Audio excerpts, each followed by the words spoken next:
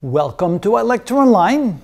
The last topic in this playlist is dealing with whether or not lines are perpendicular. And we find out that if two lines are indeed perpendicular, then the slope of one line equals the negative inverse of the slope of the other line. So here we have an example. We have two lines, one that is y equals 4x plus 2, another that is y equals minus 1 4x minus 3.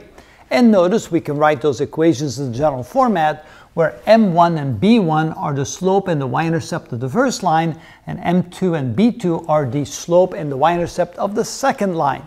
So all we have to do is take a look at the slope of the one line and the slope of the other line and see if this condition is indeed true. If that condition is true, then we know that the lines are perpendicular. So the question is, is and then we go right here, m1, which is 4, equal to negative 1 over m2, which is minus 1 over 4. So here is m1 and there's m2, and so that's, of course, the question mark.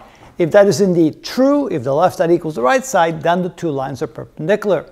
So first of all, we have a negative and a negative. So we can multiply both the top and the bottom by negative. So we can say that 4 is equal to 1 over 1 quarter. And of course, that's still question mark. We don't know if that's the case. And of course, when we divide by a fraction, it's the same as multiplying by its inverse. So 4 equals 1 multiplied times 4 over 1, question mark. And of course, that is equal to 4 equals 4.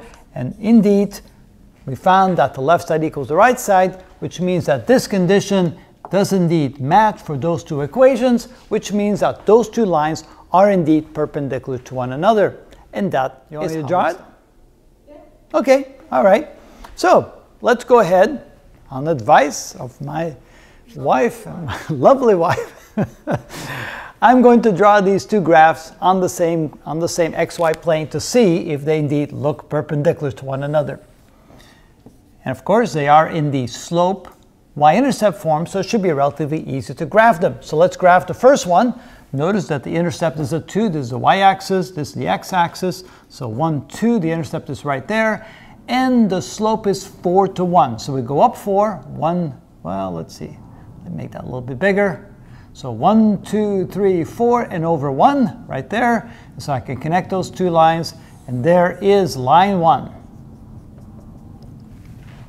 All right, now let's graph the second line. Notice that the intercept is minus one third, uh, minus three, so one, two, three. There's the intercept, and the slope is minus a quarter. So we go down one, over one, down one, over one. So down one, uh, uh over four. So down one, one, two, three, four. Over down one, one, two, three, four. So if we connect those lines, and we continue over here, then notice that yes, they do appear to be perpendicular. Line 2, and of course it's not going to be perfect because this was freehand drawing, but it does give a pretty good indication that the two lines are indeed perpendicular, but this is the way you can definitely decide if they're perpendicular, if they match this condition right there. And they do. And that is how it's done.